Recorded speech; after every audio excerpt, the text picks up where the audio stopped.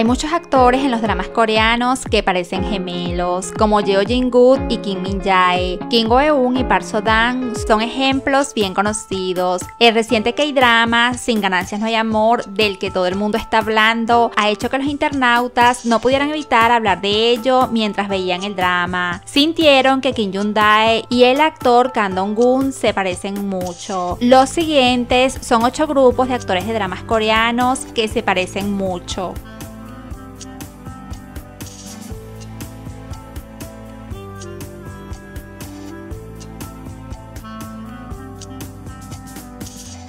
Creo que muchos fanáticos han caído en el encanto de Son Sung Kut como un hombre maduro, especialmente el encanto del personaje de mis notas de liberación. Hizo que la gente se convirtiera inmediatamente en fanáticos. Sin embargo, mientras veían el drama, algunos internautas dijeron que Son Sung Kut y el actor Cho Seung Gut se veían similares. Ambos tienen sus característicos párpados únicos y ojos pequeños, sus rasgos faciales generales e incluso su temperamento eran similares, a simple vista parecían realmente iguales, aunque en este par de actores maduritos creo que sí es fácil notar la diferencia, cuéntame qué crees tú, ¿se parecen o no se parecen?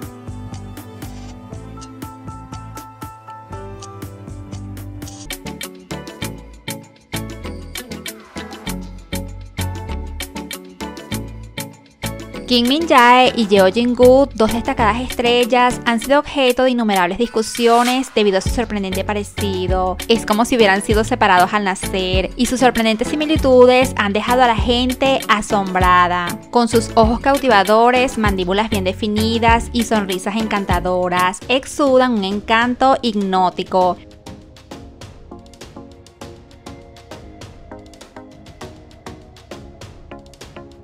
Cuando An Hyun Seo y Nan Yoo Hyo debutaron por primera vez, a menudo se decía que se parecían. De hecho, si miras con atención, aún puedes ver la diferencia entre los dos. An Hyun Seo se ve más suave, mientras que Nan Yoo Hyo es un poco más serio. Es solo que cuando debutaron por primera vez, ambos tenían flequillo y el mismo peinado. Con sus cuerpos altos y delgados y sus rasgos atractivos, exudan un encanto cautivador. Ambos actores ostentan un aura juvenil y radiante.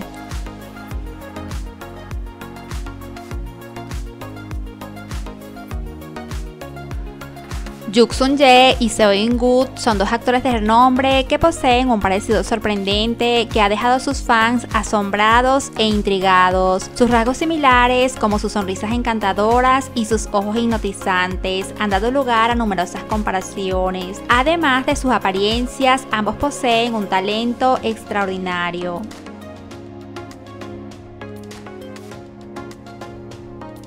Algunos internautas piensan que Quinta de Ri es muy similar a la actriz Gobo Kyul. Sus ojos y narices son muy similares. Cuando Gobo Kyul interpretó Hola, adiós mamá, algunas personas pensaron que era interpretado por Quinta de Ri. Alguna vez se le preguntó a Gobo Kyul sobre su parecido con Quinta de Ri. Ella dijo que esto la hacía muy feliz y que se sentía agradecida de que la gente vea el parecido con Quinta de Ri.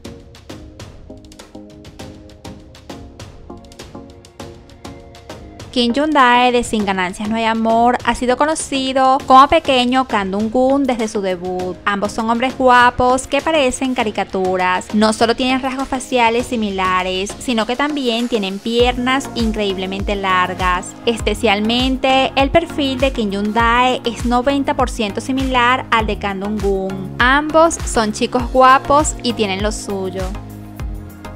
A menudo se dice que Shin Se-kyung y Lee Jung-hee son muy similares. Ambos tienen caras ovaladas desde la frente, la nariz hasta la boca. Casi son copias del mismo molde. Tanto su maquillaje, expresiones al actuar y el encanto es similar. Cuando las vemos en trajes modernos son muy parecidas, pero cuando actúan con trajes antiguos y se atan el cabello son casi exactamente iguales. No es exagerado decir que podrían ser hermanas.